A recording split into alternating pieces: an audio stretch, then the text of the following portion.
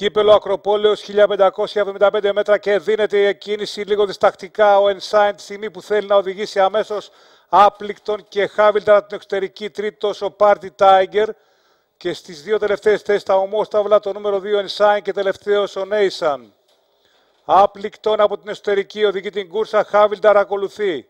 Στην τρίτη θέση Πάρτι Τάιγκερ, τέταρτος ο Ενσάιν και πέμπτος ο Νέισαν ο οποίος προοδευτικά από την εξωτερική θέλει να βελτιώσει τη θέση του και να αποφύγει να, τρέχω, να, να δέχεται την άμμο και τρέχει λίγο έξω, ακολουθώντας πάντα τους πρώτους.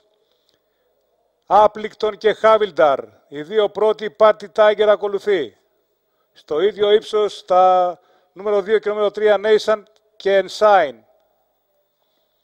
Νέισαν, ο οποίος στην εξωτερική θέλει να βελτιώσει τη θέση του και περνάει τέταρτη θέση.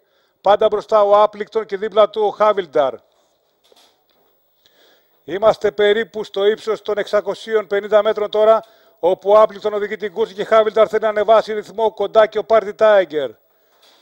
Λίγο πριν τη στροφή, ο Άπληκτον οδηγεί την κούρση και Χάβιλνταρ σχεδόν ακολουθεί δίπλα του.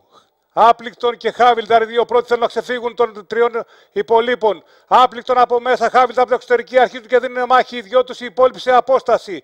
Άπληκτον και Χάβιλταρ κεφάλι με κεφάλι. Προσπαθεί να περάσει ο Χάβιλταρ.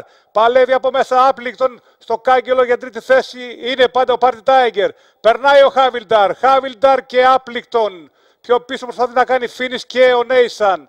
Χάβιλταρ θα πάρει τη νίκη και ακολουθεί Άπληκτον, Πάρτι Τάιγκερ και Νέισαν.